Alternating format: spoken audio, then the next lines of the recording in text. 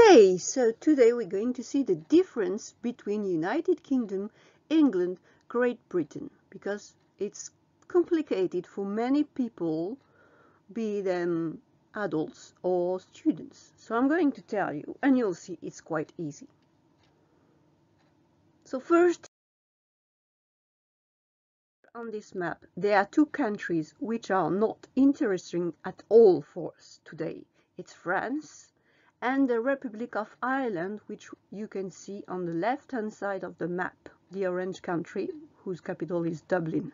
This is not part of the British Kingdom, right? It is a republic, so no link with the Queen. No, no, no, right. So let's move on.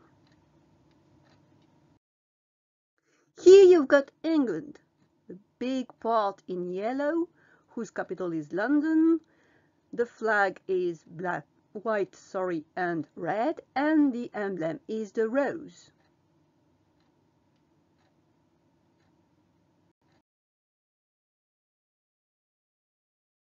Then north of England you can find Scotland with its uh, flag, blue and white.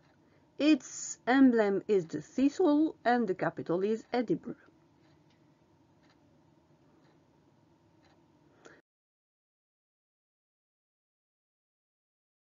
Then here you've got a striped bit in yellow, which is Wales, whose capital is Cardiff.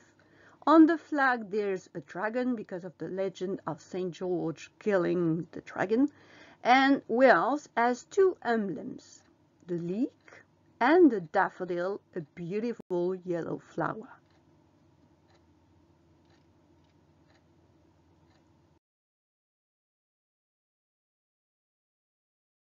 And to finish with, you've got Northern Ireland. So this is the upper part of this island, right, whose capital is Belfast. Its symbol is the shamrock with three leaves.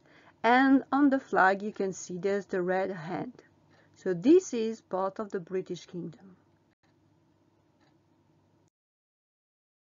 Now, what is Great Britain? Well, Great Britain is England plus Wales plus Scotland. What is the United Kingdom, UK? That's Great Britain plus Northern Ireland.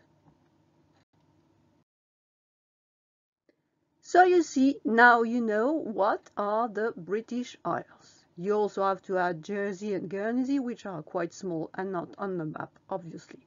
So here you've got all the flags and the one on the top, which is blue, red and white, is the flag of the United Kingdom called Union Jack because it's super, supposed to represent all the flags to be a union of all the countries.